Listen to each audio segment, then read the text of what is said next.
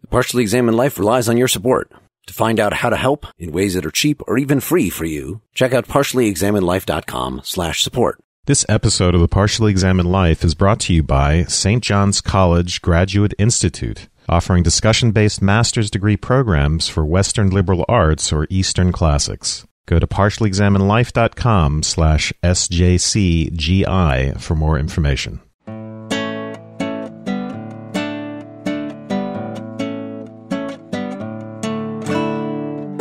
Listening to The Partially Examined Life, a podcast by some guys who at one point set on doing philosophy for a living, but then thought better of it. Our question for episode 222 is still What is the Mind? And we're considering arguments attacking functionalism through Ned Block's Troubles with Functionalism from 1978, and defenses against some of these attacks in David Chalmers' essay Absent Qualia, Fading Qualia, Dancing Qualia from 1993. For more information, please visit partiallyexaminedlife.com. This is Mark Linsenmayer with Qualia dancing the Macarena in Madison, Wisconsin. this is Seth Paskin, paradigmatically embodied in Austin, Texas. This is Wes Alwan in Cambridge, but supervening on the economy of Bolivia.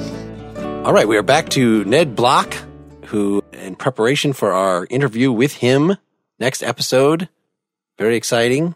This is basically the second half of episode 221, our four part episode, which is itself was the second part of our 218, 219. We've done a lot of these damn things. Well, I'm sure the fans love it. we had a, another Chalmers paper this time, which was shorter, yet equally lucid and pleasant as the last one we talked about.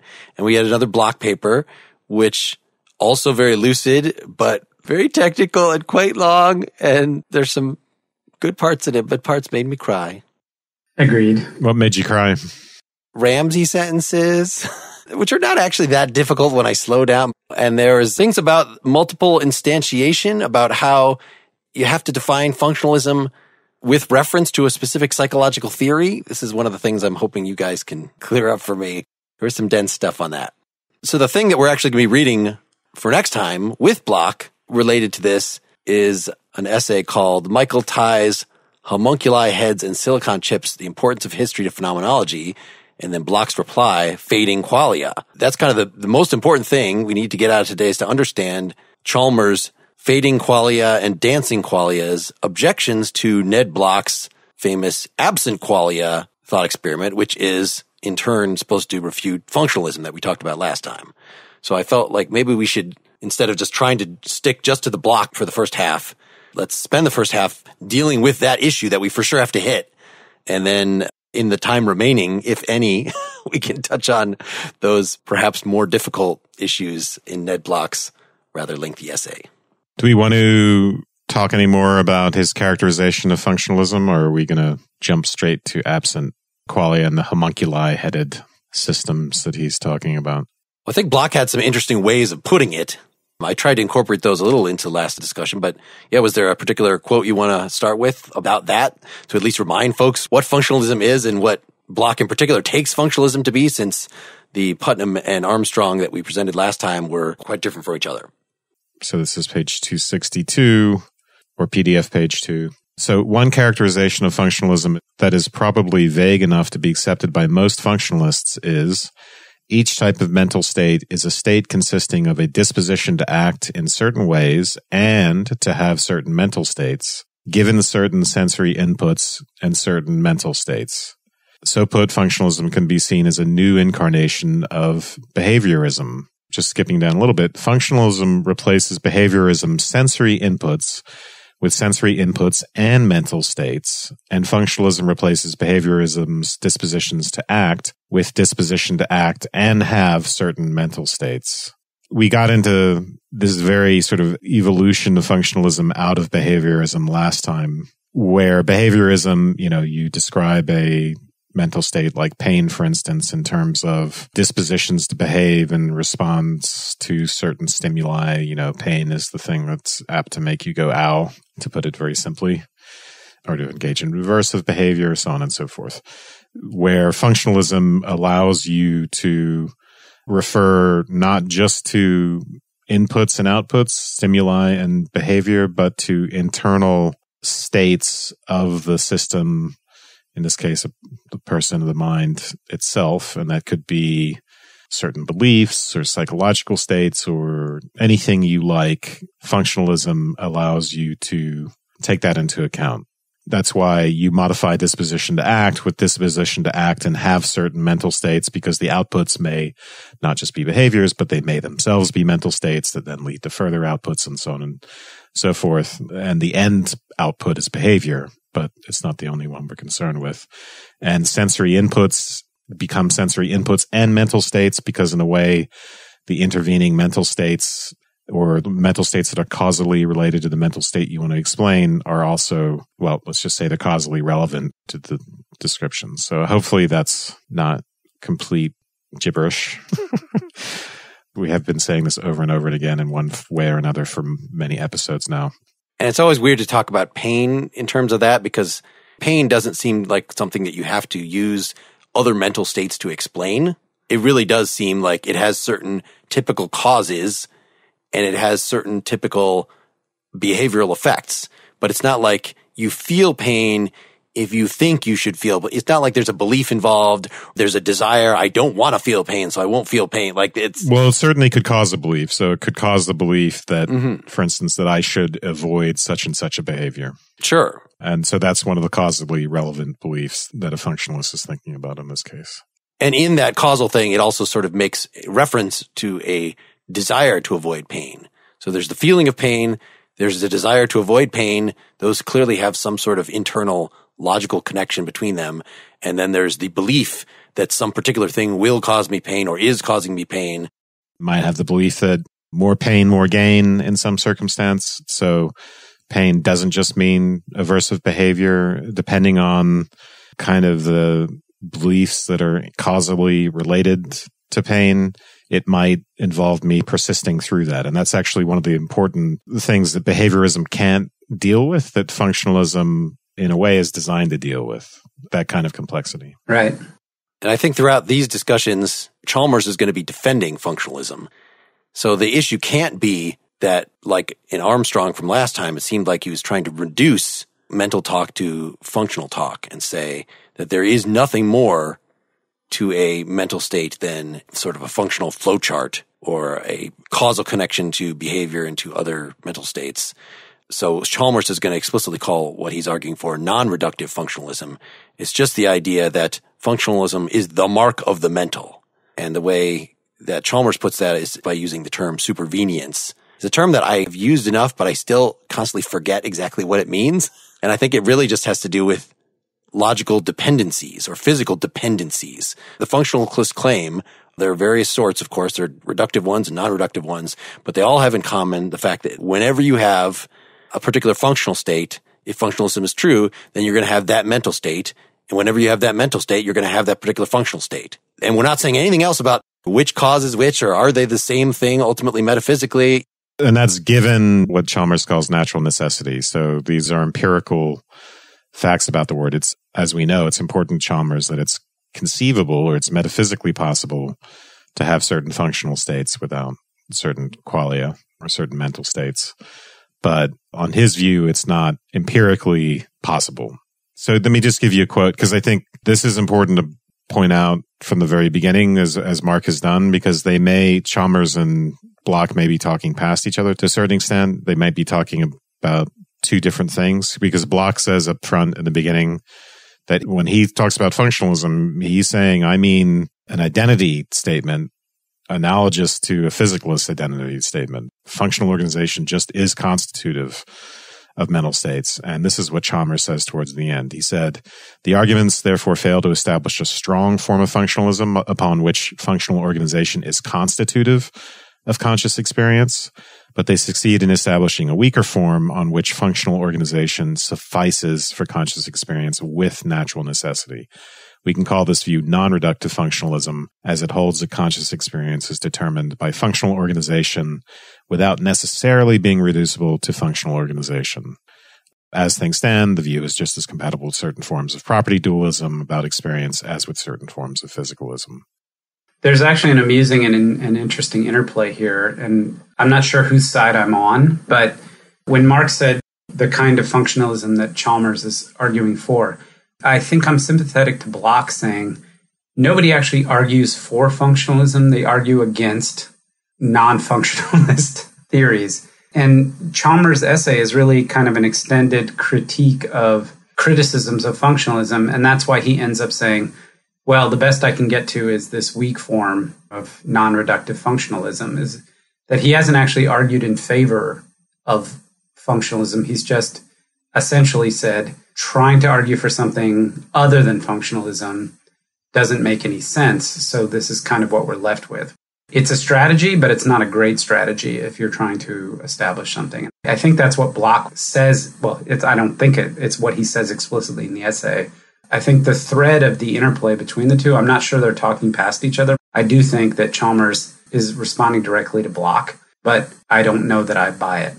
What Block says is that most philosophers just assume functionalism and they don't bother to argue for it. Once you accept that physicalism has certain fatal problems, you know, why is it that just that only this particular stuff can be conscious, then you say, okay, this is the best we can do, and you work on that. But I think Block gives a set of arguments that I think are pretty convincing, pretty persuasive that actually functionalism doesn't really work if you think of it as constitutive. I think what Chalmers is doing is something a little bit different. It's in a way, I think ultimately it's compatible with Block's critique of here of constitutive functionalism or reductive functionalism because Chalmers is just saying, I'm not um, embracing reductive functionalism.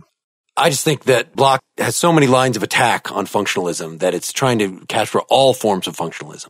The whole reason that you would take functionalism is because there was something wrong with materialism. And we, I think we saw that in both the Putnam and Armstrong. They both wanted to be scientific, which sounds like you should just be materialist. It sounds like you should say that mental states are the same as brain states at a type level.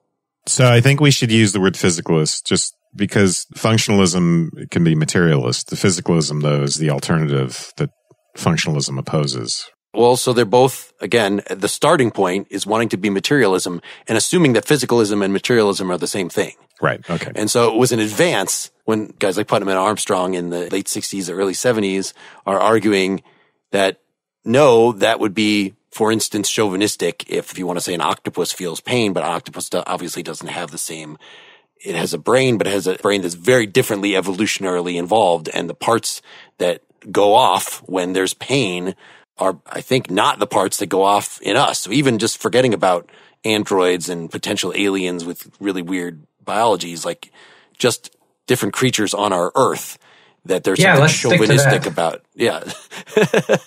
there's something chauvinistic about physicalism. And so wouldn't it make sense that we could say that there's human pain and there's octopus pain. And what makes them both pain? Well, it's their functional role. Functionalism kind of became a default position when you object to physicalism. And Block is kind of giving a rejoinder to that that says actually the advantages that you thought functionalism had over physicalism are something very parallel plagues functionalism as well. It itself is chauvinistic or depending on how you define it might be in fact too liberal. It might end up ascribing mentality to collections of rocks and things like that that you don't want or to economies, right? One of the points he's making is about how you specify inputs and outputs. Yeah, which is Wes's little tag when he came in. Yeah, I mean, I think if you were to talk about his objection in the grand scheme of things, the big picture for his objection is what he calls homunculi headed systems and this is sort of an outgrowth of the Searle's Chinese room argument, in which a system is made to pass a Turing test to simulate consciousness, just using a guy in the room is translating Chinese to English or whatever. The other example is just you could make the whole nation of China, as long as its population operates in the right way and according to the set of rules, you could make it functionally equivalent to a brain, let's say. Yeah. So the idea is that this is where the homunculus part comes in.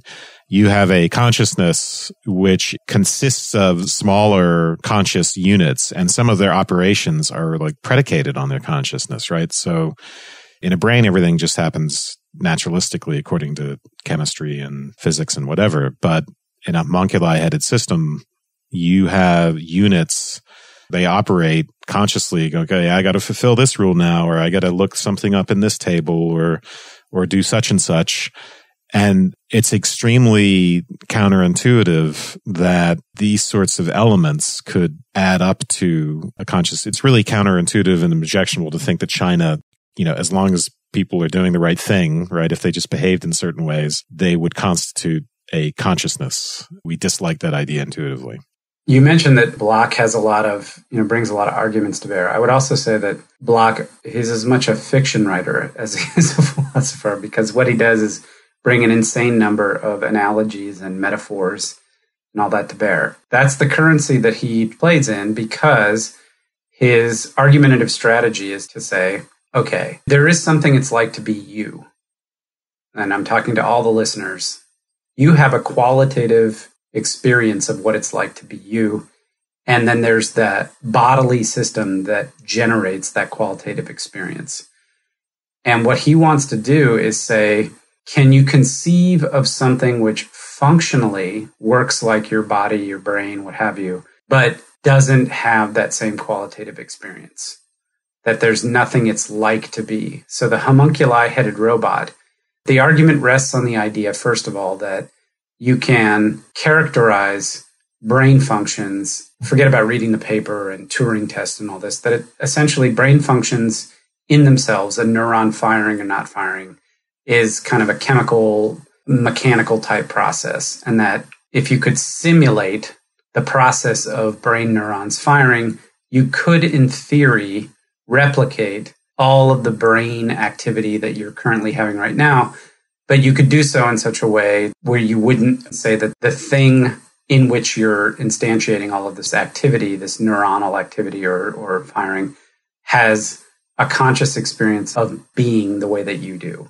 That's the argument. And so the homunculi headed and the Chinese things are all intended to show you like, if you could get everybody in China to function according to some set of rules to duplicate the activity in your brain. We should amend that, by the way, just to say we're not sure that you would have to duplicate neuronal activity because the whole point of getting beyond physicalism is to say it could be instantiated in many different physical realizations. And it's not clear that what we have to replicate precisely is neuronal activity. It could be a much higher level functional stuff that the brain happens to accomplish with neurons, but could be accomplished. Fair enough. The point is, is that there's a translation mechanism where you have to be able to characterize neurons firing in such a way, and that's input. So he talks about input and, and output, right? It's the behavioralist thing, which is there's a set of inputs, red, heat, whatever, the behavioralist says there's an output, which is run away,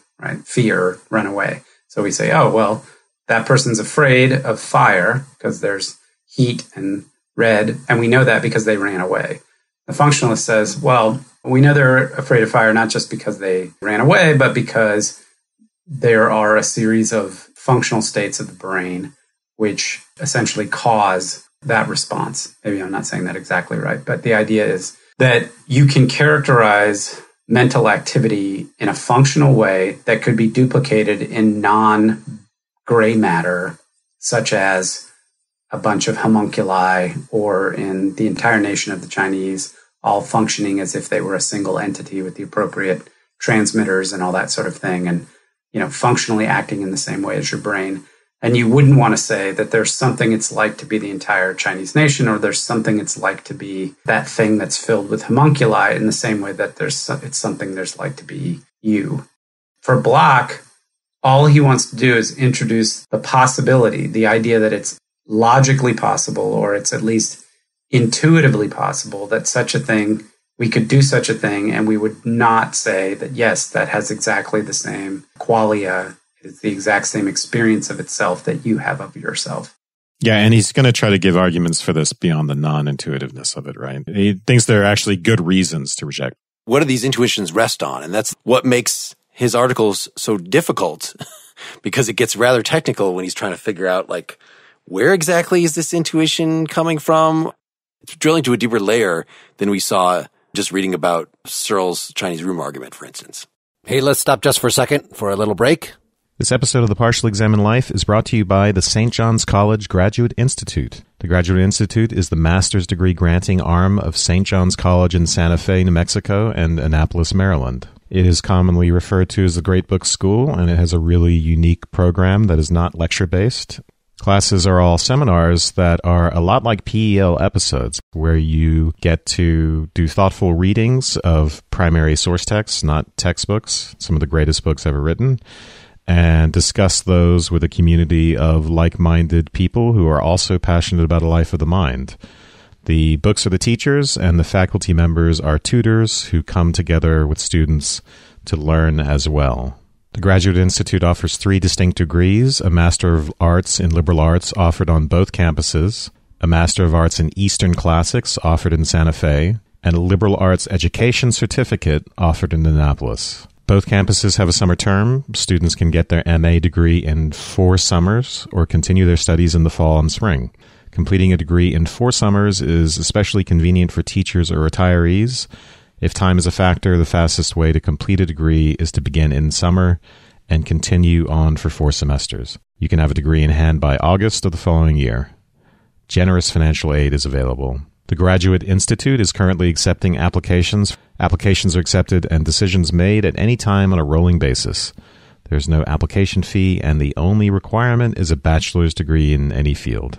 If you're a PEL fan or even a casual listener with an interest in joining other like minded individuals in a more formal, intimate setting to engage in the serious contemplation of great works of literature, philosophy, history, theology, mathematics, and science, check out the St. John's College Graduate Institute. For more information, visit partiallyexaminedlife.com slash sjcgi. I know you by now know about the Pretty Much Pop podcast, where I apply at least one quarter of the fortitude that goes into the Partially Examined Life and discuss, along with my charming co-hosts Erica Spyres and Brian Hirt, TV, video games, comics, comedy, films, podcasts, and other internet media, and more. But I want to make it absolutely clear that even if you see episodes of that podcast come up in your partially examined life feed, well, that's just me promoting the podcast. And to get all the episodes promptly, you need to actually go to prettymuchpop.com or look us up on Apple Podcasts, Stitcher, Google Play, wherever you get your podcasts, and subscribe to that podcast individually. That is the only way you're going to wake up on Tuesday, July 30th and see our episode with Lucy Lawless discussing true crime. Because marveling at the suffering of others, at murders, at horrible things that have taken place, that's weird. And on Pretty Much Pop, that's our job to take on these weird everyday media intake occurrences and subject them to some critical analysis or at least joking around to try to make sense of it all. Now, I don't agree with Seth on this podcast that abstractions and thought experiments and theoretical questions are irrelevant to truly understanding ourselves and making changes in our lives, but you want to supplement your theoretical studies with reflection on the practical details of how you live your life. And if you're like most of us, you live your life on the internet a lot, watching TV a lot, playing games, and otherwise being a spectator. So join us on Pretty Much Pop to explore all that. That's prettymuchpop.com. All right, let's get back to the discussion. I think these nation of China and these couple of examples are important enough that we should read a little bit of them. So the beginning of the homunculi headed system example is in 278. Imagine a body externally like a human body, say yours, but internally quite different. The neurons from sensory organs are connected to a bank of lights in a hollow cavity in the head. A set of buttons connects to the motor output neurons. Inside the cavity resides a group of little men.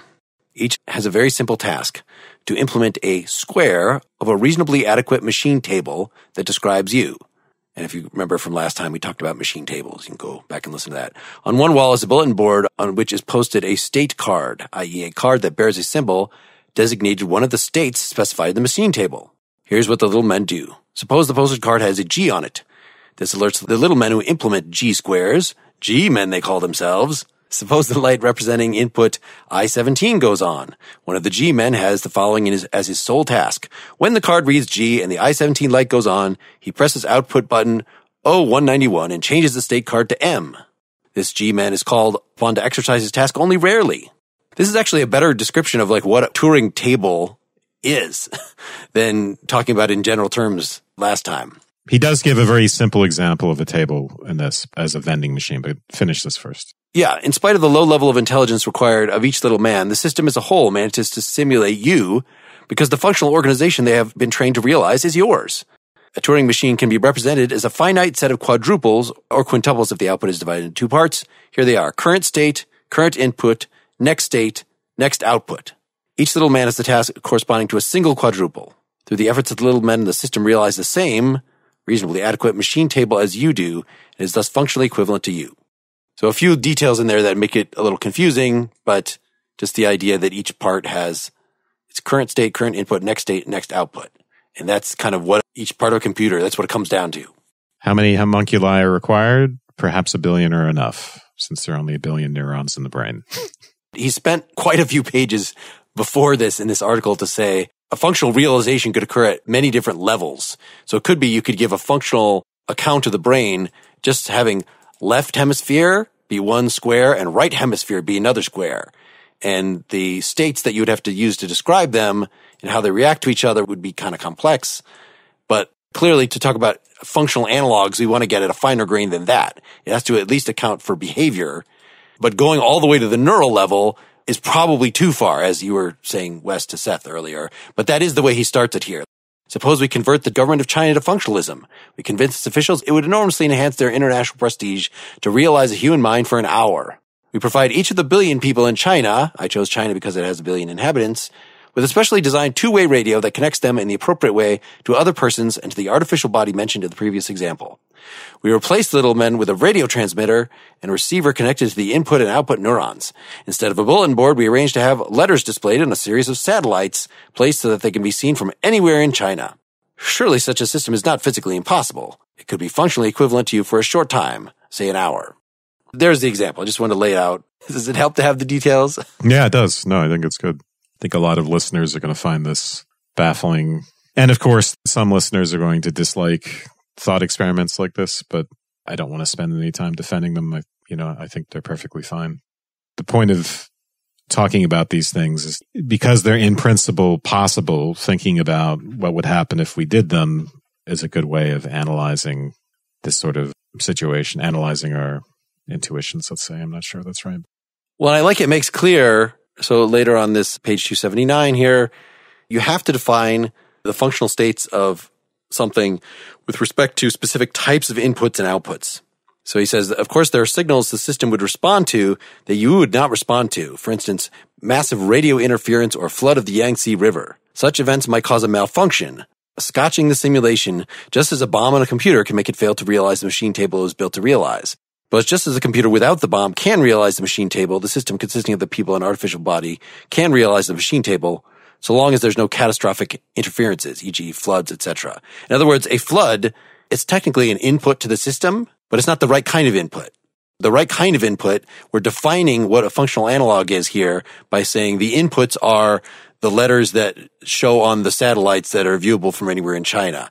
Anything else that affects the operation of the system is kind of coming in through at, at a lower level. So if you think like, again, the brain is kind of running the software and the software is the functional organization, things that might hit somebody in the head with a brick or they drink alcohol or something that affects the system, but it's not actually an input to the system considered as a functional organization.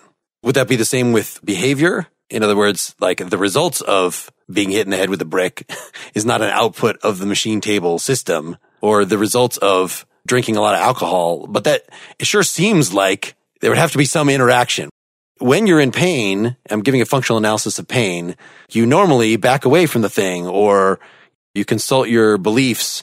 Is this a good kind of pain or is this a bad kind of pain? Am I trying to train for the marathon? So I should work through this or not? Well, if you're drunk, that's obviously going to affect those decisions. It's going to affect that matrix, but yet we still consider the drinking is not a proper input for the functional system. He doesn't actually raise in here about the outputs. His talking with slurred speech, he wouldn't have to give a functional explanation for that, right? Because it's reacting to something non-functional. No, it's part of the inputs and outputs. I think alcohol is an input and slurred speech is an output. I'm not sure why would you say otherwise. I mean, if you have your brain, if something damages your brain and it can no longer perform the functions of a typical brain, then you have something analogous to the flood in the case of China or something. If you want to say alcohol, obviously there's a problem involved in defining inputs and outputs. Where does the system begin and where does the world begin and what constitutes an input as opposed to something that actually interferes with functioning? What distinguishes an input that gets processed functionally as opposed to something that actually interferes with typical functioning? Those are difficult questions. Well, yeah, and I think they're difficult, and I think that's part of the reason why Block tries to just sort of say, you know, I'm talking about this, whatever, trying to rule out the flood case and the, for his analogy for the Chinese. But it does seem as though paradigmatically what they're talking about when they're talking about inputs is perception. Nobody in any of these essays we've read does the hard work of actually talking about, at least I don't think so, of what inputs might be. And then it's assumed perception, it's assumed the paradigmatic case is like seeing a color or reacting in a certain way to like oh pain right everybody talks about pain for exactly the reasons that Mark mentioned at the beginning of it they want to use pain as the the standard case because it theoretically gets you out of some of the complexities of behavioral response that involve memory history experience trauma all these different things it's just basically oh well we all feel pain it's a response to a particular stimulus so I think that's what's at the back of everybody's mind it's just very few of them seem to do a good job of like articulating that and be very clear about it from the beginning. I think Block will say whoever says what the system is says what the inputs and outputs are, says what counts as inputs and outputs. And for him, it's only our neural activity. So we think of the frontier of the brain, basically. And instead of thinking about sounds and sights, color, something like that, I go a little further in and I'm just thinking about the electrical stimuli that are entering the brain or exiting the brain to my nerves. And those are the inputs and outputs. I don't think this is something we want to get bogged down in. Block wants to introduce the idea. He wants to say, I can provide a thought experiment which will be plausible enough to suggest that there can be a functional system which is equivalent to you, but which does not have your qualia about which it can't be said that there is something that's like to be it that's the same way that is something that's like to be you. And then the rest of the essay, in many respects, is metaphor after metaphor, analogy after analogy, trying to tease that out. On page 281, he's going to say a similar thing throughout for various forms of functionalism. But what makes the homunculi headed system count the two systems as variants of a single system just described a prima facie counterexample to machine functionalism is that there's a prima facie doubt whether it has any mental states at all, especially whether it has what philosophers have variously called qualitative states, raw feels, or immediate phenomenological qualities. So we're doing a reductio ad absurdum here.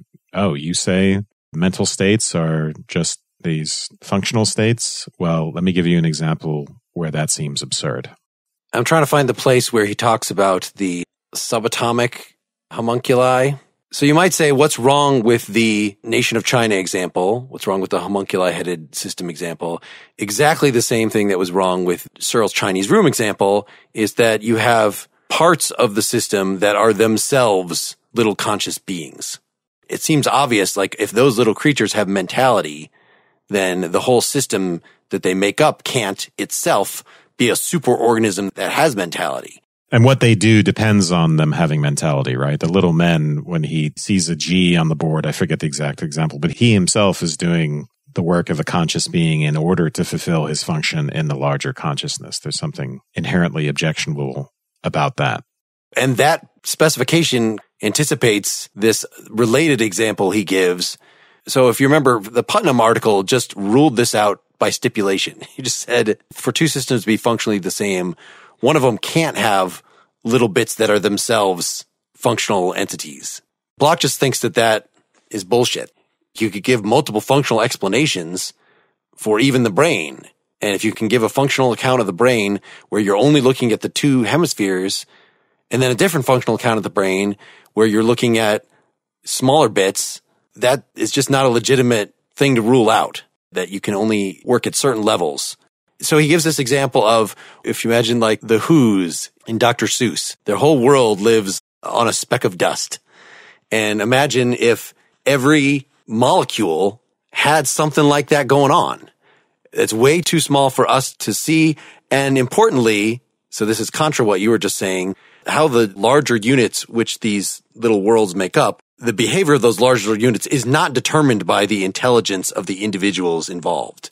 So it's not like the individuals are like steering the stacks of dust or determining the ultimate physical properties that a quark exhibits. It's because they're little dudes in there looking at a rule book and saying, using their mentality to make the quark move in the way that quarks are supposed to move. No, they're just living their little lives.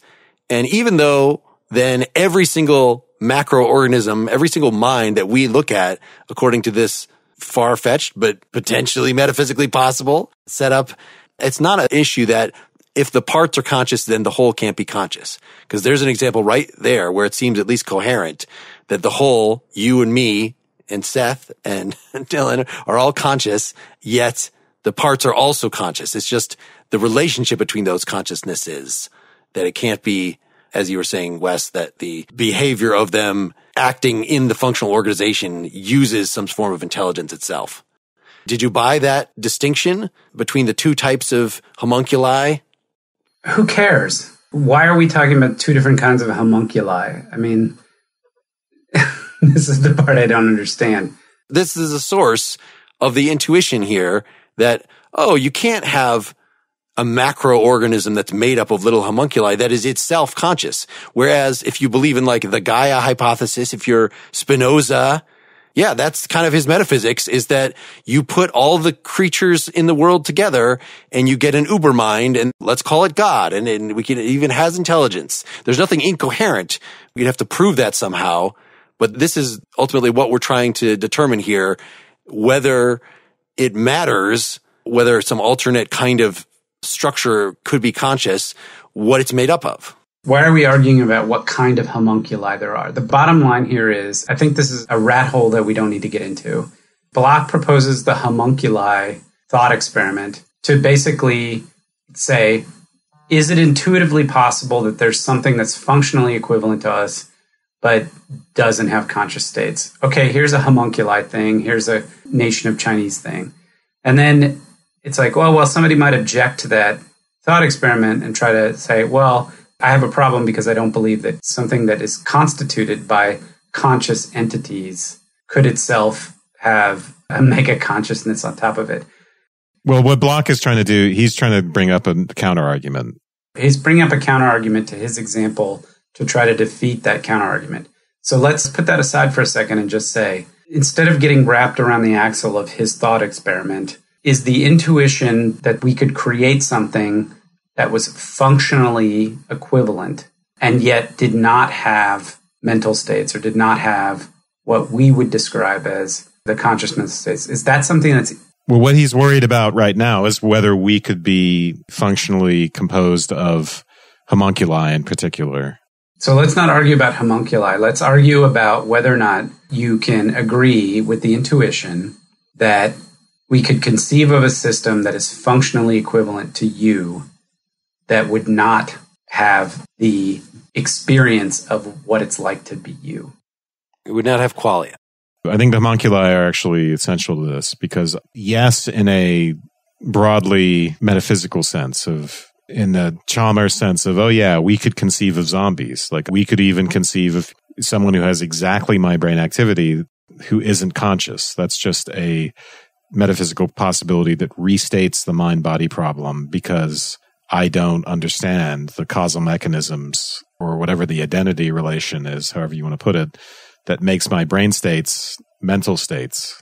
So, yeah, in that broad sense, it's entirely conceivable that not just something that's functionally equivalent, but something that is, you know, materially, physically equivalent to me doesn't have mental states. But we're trying to go beyond that conceivability to the idea that there's something wrong with functionalism. And that's what this, homunculus example does. So in other words, it's not just that I can imagine a functional equivalent that doesn't have mental states. It's that intuitively we think that there would be certain functionally equivalent systems that just we can't bite the bullet on them having mental states. We think they don't. And that becomes a real objection to functionalism, whereas I don't think the conceivability of functionally equivalent systems that don't have mental states is in itself an objection. If you think that any of these examples, the whole notion of functional equivalence doesn't actually make any sense, then that would be a major knock against functionalism. Since the whole thing is a reductio ad absurdum, it's not necessarily that the piece that has to fall here is the necessary supervenience of the mental on the functional. The piece that fell could just be the notion of functional equivalence itself, which seemed to be what you were just asking intuitively. Could we imagine that there is some kind of thing that's homuncula headed, but yet that is functionally equivalent to us? And I think that's hard for us to just be intuitive about because we don't really understand functionalism all that well. I mean, we just had a whole episode on it and you can think about it in very simple ways and okay, what are the functional components of a mousetrap? And they could be realized in different things, but actually imagining something that is functionally equivalent to a whole human being, a whole seems astounding. And it seems like it might not just be a matter of increased complexity. It's a mousetrap with more pieces. It's a factor of complexity greater that you really just couldn't have a functionally equivalent other thing. Right. That's because human beings are historical too.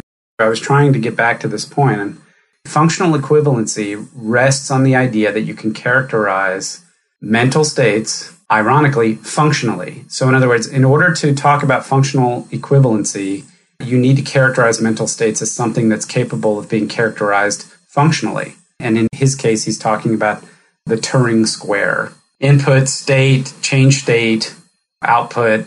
It's the idea that there's a way to characterize the mental state in some kind of, I hesitate to use the word mechanistic, but essentially that it's ordered. Let's say algorithmic instead of mechanistic. Algorithmic, sure, that's a good one. Because we know that as complex as physical mechanisms of the brain are, they can be characterized algorithmically. I guess it's natural to say, well, then mental states must also be able to be characterized, nat- or at least if we're going to explain mental states, we should piggyback on the algorithmic structure of the physical state of the brain, which gives us something we call functional states. Functionalists want to talk about the causality of mental states. And so there has to be some kind of structure and order to them that permits that.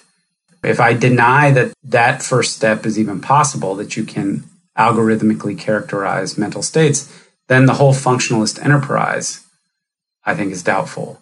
But again, we haven't positively characterized functionalism here other than to have Block define it in order to provide all the, these counterexamples. So I thought we were going to get to Chalmers early on and we weren't going to spend all our time on Block. So that's why I'm like, we can talk about all of the 22 different examples that I've cataloged of Block bringing in analogies and different metaphors to try to get at that intuition. And we could spend all of our time just arguing about which ones are more satisfying or less satisfying or which ones have flaws or which ones don't. But there's some other things that we would be more interesting to spend time on. Yeah, I think there are more things in Block though that I don't think that's all there is, is him reiterating the same point. It's more complex than that, but ultimately that's the strategy of argument that he's employing. This is one of the reasons I was just bringing in the whole alcohol thing as a potential, either a challenge to clarify what functionalism is or perhaps an objection to functionalism that I think contra Wes's thought that, oh, alcohol, you know, its deadening effects count as an input. No, if you're thinking about the brain algorithmically, well, the taste, as we were saying before, it's the sensations. You define what counts as an input. So the sensations, the, the taste of the alcohol and the feeling that you get as a drunk person, those qualia would count as inputs, but the liquor itself slowing the neurons. I'm more putting it as a question. I don't really know how to deal with this, but maybe we should just move on. You know, I think we've defined pretty well what absent qualia is. Imagining that there's this homunculi headed thing. It's got the same functional organization of us. Imagine that you understand that. and yet it seems obviously not to have qualia. So that's the absent qualia argument. So do we want to say briefly what Chalmers' response to that?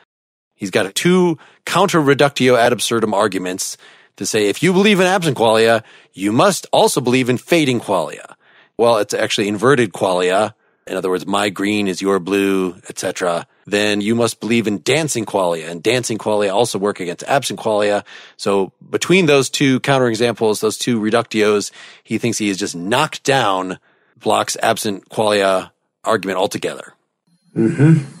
We can do that. Since Block also talks about inverted qualia, we can backtrack and talk about, so we can do these in two separate steps. All right. So assuming this is page three of his 12 page article here, assuming that absent qualia are empirically possible, that's, we're just assuming that to test it. It follows there can be a system with the same functional organization as a conscious system, such as me, but with lacks conscious experience entirely due to some difference in non-organizational properties.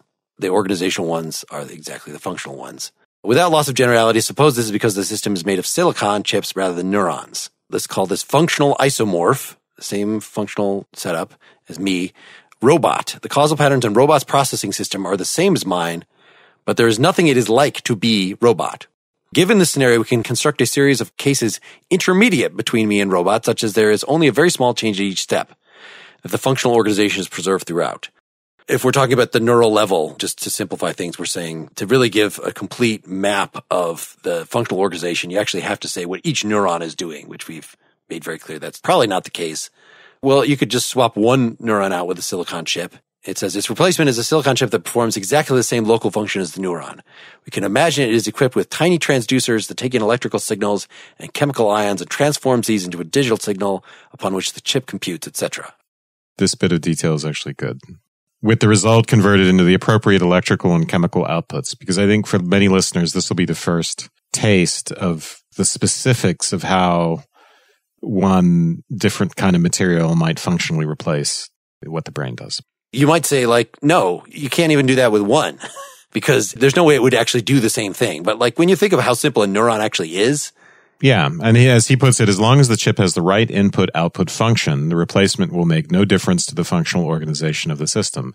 And we have to think, even if it's not a neuron that could be replicated in this way, there has to be some level, right? Where we could model input and output because that's what's going on, presumably. We'd have to deny that there's input output in order to deny that we could do that with a silicon chip. Yeah, so an artificial heart. It's not like you go in each cell, you figure out how many cells were in the original heart. No, it has just something that plays the same. Yeah. So I think it's entirely plausible. And then if you're going to say that if we replaced all the neurons with silicon chips, if you're going to say, well, that being doesn't have any qualia, isn't really conscious, then you have to account for this gradual replacement thought experiment in which I go from being a conscious being to one without consciousness. And then where do I stop being conscious? Obviously, if you replace just one neuron in me or even a lot of them, I'm not going to display any behavioral problems or any other sorts of abnormalities. I'm going to function just the same as a person. But the anti functionalist is going to have to say, well, at some point as you're undergoing those replacements, you may look and act just like you normally would, but somehow your subjectivity is being drained away. And that I think is a very powerful thought experiment that Chalmers is giving us. The gist of it is what is it like to be one of the in between states? Before we even get to that, Seth, what did you think of this example in terms of just the idea I don't know if you guys know the, the origin story of the Tin Woodman, but it's the same as he's describing here. I was out chopping my wood one day and my axe slipped and it hit my leg. And so I went to a guy and he replaced my leg with tin. And then I did the same thing the next day and he replaced my other leg with tin. And then he replaced my, so, so it's this ridiculous that that's how in the, the Wizard of Oz, how the Tin Woodman got that way is he used to be a normal dude and he chopped his own face off eventually and they just replaced it with tin. And somehow he retains functional isomorphism. he, he acts virtually the same. He obviously he has things like rusting is not a matter of the changing algorithm. That's like a matter of the changing material. But he has the same personality and the same behavior. Yeah. So maybe the functional units are quite gross, quite, you know, quite macro. Yeah. Just cut my head off and replace it with a, with a tin head. That, that example is from like 1899. That this kind of stuff was out there already. What Chalmers is doing, he's starting with consciousness. He's starting with the idea of consciousness and he's essentially doing a replacement. So in the case of the absent qualia, what he's saying is okay, let's take Block at his word. Here I am on one end of the spectrum. I'm functionally organized in the manner of A, and I have the quality, the experience of being Seth. At the other end of the spectrum is something which is also functionally organized in the manner of A, but it is not Seth. It does not have the experience of being Seth. It's not Seth. Just for shorthand, can we say?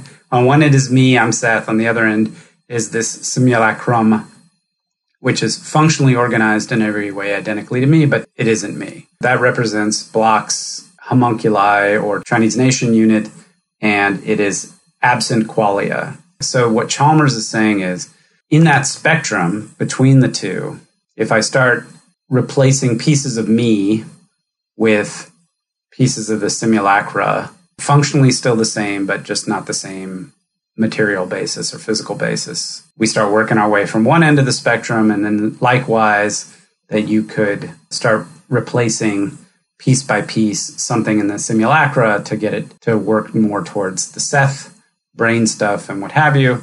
How do you describe what's in the middle? Like, how do you get from A to B? He says, well, if you believe that it's a continuum, and on the one hand you have absent and on the other hand you have completely present qualia, then either qualia has gradations.